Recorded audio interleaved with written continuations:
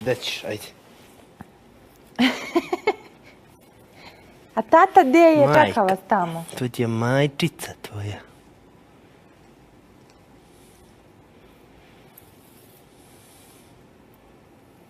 Srce malo. Ajde, da vidim šta ćeš, gde ćeš, ajde. Sam hodaj, da vidim. Još nije sigurno.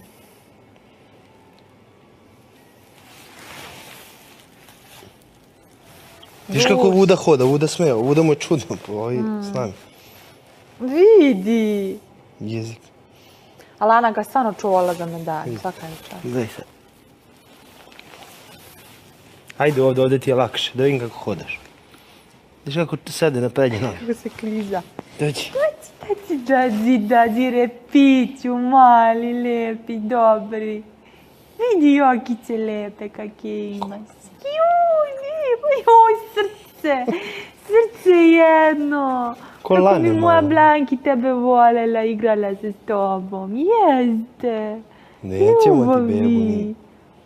Srce malo, vidi, vidi. Ti je repić mali, ti je mala glava pametna, ti je mala glavica. I srce. Igra bi se, Vi vidi. uznemirila se, vidiš? Nije, nije. Nećemo ti bebu tvoju, ne se. tamo, nemoj da se...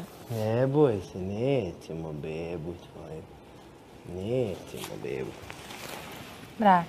Evo je beba, ne boj Evo se. beba, Evo evo. beba tvoja. Ne boj se. Pazi da sam... Evo beba. Tu je beba, majka je to, brine za svoju bebu. Žok stavlja kao glavu da ga pomeri. Viš kako ga kupa, vidi. To je majka. Žao mi za ona dva. Ono bela Vidi ga isto... vidi, vidi. Da, joj fuj.